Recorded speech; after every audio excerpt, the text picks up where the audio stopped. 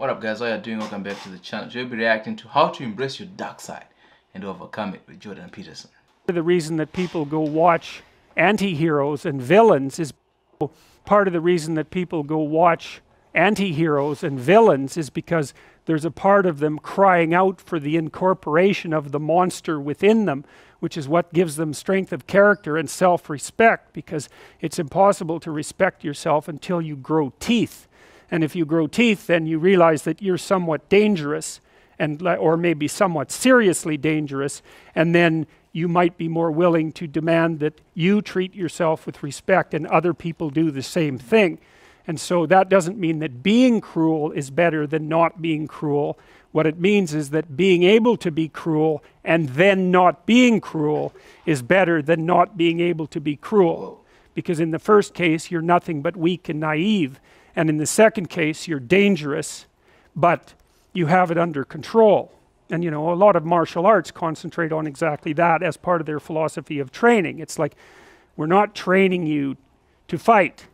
We're training you to be peaceful and awake and avoid fights.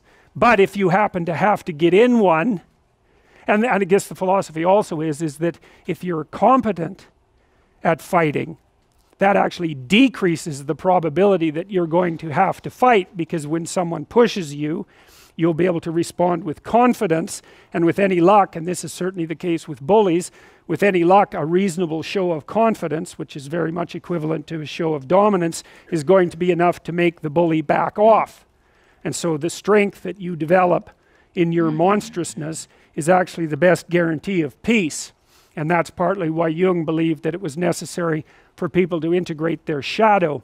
And he said that was a terrible thing for people to attempt because the human shadow, which is all those things about yourself that you don't want to realize, yeah. reaches all the way to hell. And what he meant by that was it's through an analysis of your own shadow that you can come to understand why other people are capable, and you as mm-hmm. well, of the sorts of terrible atrocities that characterized, let's say, the 20th century. And without that understanding, there's no possibility of bringing it under control. When you study Nazi Germany, for example. Yeah, before we go any further, like I, I totally agree with what he's saying. Uh, with martial arts, you're constantly taught how to fight.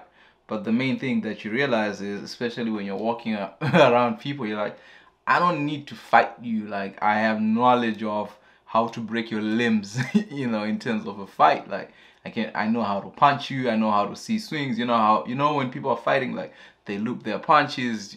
You just know how to do it, so you're very confident. It's like even when you see those army people who are just confident within themselves, like I don't need to fight you, bro. Come on, you know. Or you study the Soviet Union, particularly under Stalin, and you're asking yourself, well, what are these perpetrators like? Forget about the victims, let's talk about the perpetrators. The answer is, they're just like you. And if you don't know that, that just means that you don't know anything about people, including oh. yourself. And then it also means that you have to discover why they're just like you. And believe me, that's no picnic. Mm. So that's enough to traumatize people, and that's partly why they don't do it. And it's also partly why the path to enlightenment and wisdom is seldom trod upon, because if it was all a matter of following your bliss and doing what made you happy, then everyone in the world would be a paragon of wisdom, but it's not that at all. Yeah. It's, the, it's a matter of facing the thing you least want to face. And everyone has that old, there's this old story in King Arthur where the knights go off to look for the Holy mm -hmm. Grail, which is either the cup that Christ drank out of it the Last Supper, or the cup into which the blood that gushed from his side was poured when he was crucified. The stories vary, but it's, it's basically a, a holy object, like the phoenix in some sense, that's representation, a representation of transformation. So it's, a, it's an ideal, and so King Arthur's knights who sit at a round table because they're all roughly equal go off to find the most valuable thing. And they and where do you look for the most valuable thing when you don't know where it is? Well each of the knights looks at the forest surrounding the castle for for the most valuable thing when you don't know where it is? You look within. Castle and enters the forest at the point that looks darkest to him. And that's a good thing to understand because the gateway to wisdom and the gateway to the development of personality, which is exactly the same thing, is precisely through the porthole portal that you do not want to climb through. Mm. And the reason for that's actually quite technical.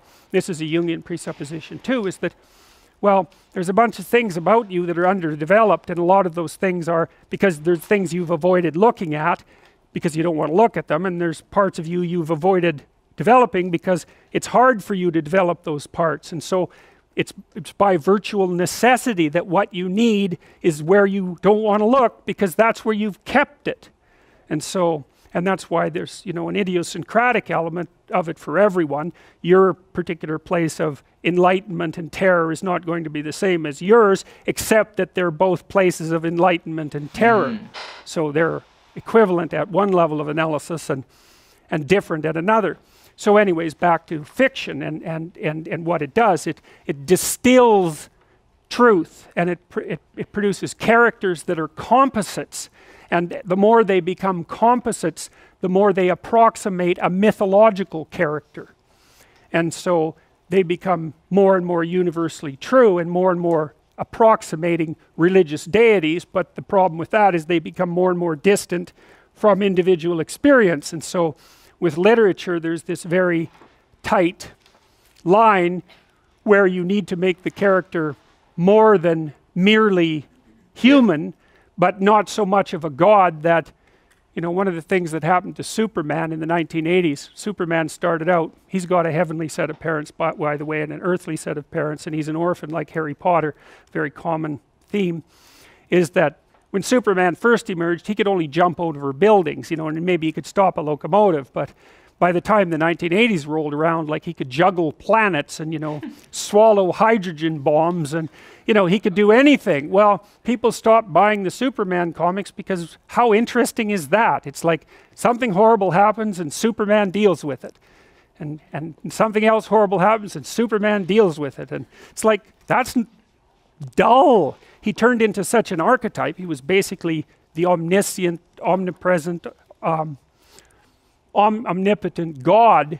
And that's no fun. It's like yeah, God. very few people can relate to that. If you're always coming up with solutions, for me, I've always felt like Clark Kent is just an over-exaggerated superhero. Like the man has lasers coming out of his eyes. How does he even fight a war? What type of difficulties does you suffer? And then they try to bring around like the social construct of his struggle, but a lot of times you realize a lot of people struggle also socially because of their lack of physical prowess. So if you have laser beams coming out of your eyes, how do you get into a fist fight with a human? Like, come on. God wins, and then God wins again, and then again God wins, and you know. So then they had to weaken him in different ways with kryptonite, you know. So green kryptonite kind of made him sick, and red kryptonite, I think, kind of mutated him if I remember correctly. And anyways, they had to introduce flaws into his character so that there could be some damn plot. And that's something to think about, you know. There's a deep existential lesson in that, in that your being is limited and, and flawed and, and fragile. Um, you're like the genie, which is genius in the little tiny in the little tiny uh, lamp, you know, this immense potential, but constrained in this tiny little living space, as Robin Williams said when he played the genie in Aladdin.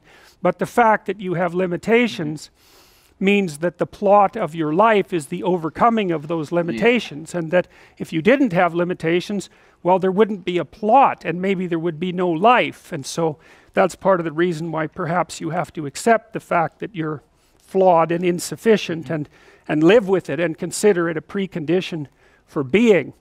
It's at least a reasonable it's a reasonable idea. So anyways, one of the main characters is the country, the known, the explored territory. We went over that a bit and it always has two elements. I mean, your country is your greatest friend and your worst enemy, you know, mm-hmm. because it squashes you into conformity and demands that you act in a certain manner and reduces your individuality to that element that's tolerated by everyone else.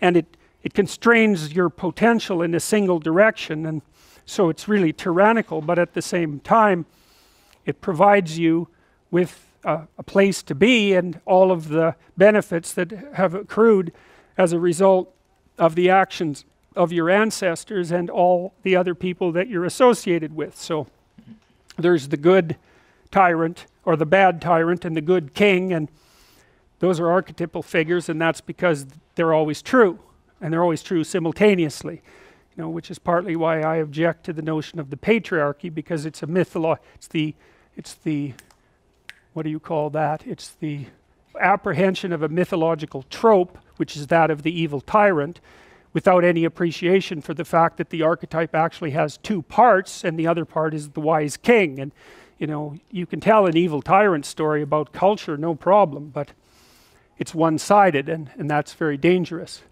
because you don't want to forget all the good things that you have while you're criticizing all the ways that things are in error. That's a lack of gratitude and it's a lack of wisdom and it's it's mm. founded in resentment and it's it's very dangerous uh, both personally and socially. Wow. He brings up a great point right there like at the end where it's like you, you, you fall into this thing whereby you stop being grateful for the things that you have because all you see is the bad of how something is. You're like yo this thing is so messed up that it does this but it's like yeah 99% of the time this thing works but now you're going to focus on the 1% and you want to correct that 1% so much that you're willing to lose the 99% of the goodness that a certain thing has which can be with patriarchy and if you're looking at it I can understand the arguments on both ends but I just feel like a lot of times we have to be super careful um, in terms of embracing your dark side I feel a lot of us have to you know a lot of us choose not to engage the darkness because it's terrifying. It's terrifying to see where your weaknesses lie. It might be in risk taking. It might be you're just trying to achieve anything and just it, it terrifies you because when you embrace the darkness, sometimes that means being disciplined and disengaging from the things you used to do with your friends, with people around you. It means that um, making those choices that are not favorable, choices that can lead to you losing certain things that you hold value but at the end of the day, you also have to embrace that and be prepared. Sometimes it's it's knowing that you have to go to the gym and learn how to fight. It's knowing you have to put yourself in a position to protect yourself. You know, um, there's this saying. don't quote me on it about it's better to be a, a soldier in a garden than to be a gardener in a war. You know, so you, you always want to be prepared and, and ready to protect yourself, to protect your family rather than to, to not even know these things and, and you know I, I, I think it's Jordan Peterson as well who says that um a harmless man is not a good man a good man is a dangerous man who knows how to control himself because that man is good by choice and can be deadly without the choices you know what I mean so I think the, the good thing is you have to embrace your dark side you have to allow yourself to be weak but to build yourself up to become that vision of yourself that can take on this world for the time that we are on this planet. Let me know in the comment section what you think of this video. I'll definitely be seeing you in the next.